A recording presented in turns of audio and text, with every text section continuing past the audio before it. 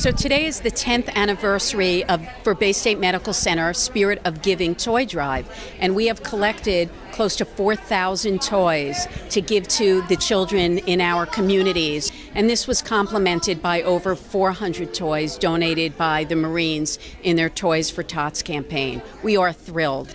The children of Lincoln School joined us to sing both uh, Jingle Bell Rock and Frozen uh, to great rounds of applause and really made warmed our hearts as employees to be able to give back just a little bit.